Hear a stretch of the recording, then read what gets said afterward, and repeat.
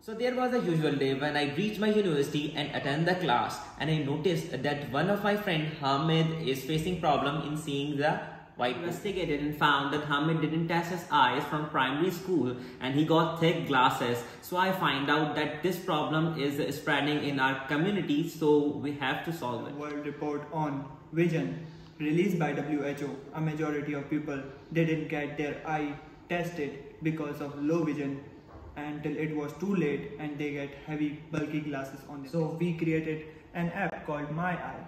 Using Myey, user can measure their visual acuity in real time. Using machine learning and artificial intelligence, we have developed an app using Flutter can determine the distance between user face and user device.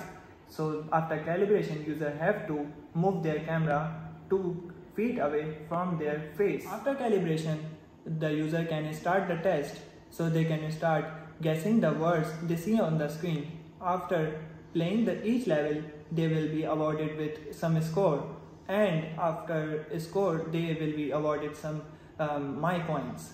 So they can redeem those points in pharmacies and clinics and uh, multiple places. So, use myey to see the world in details. Thank, Thank you. you.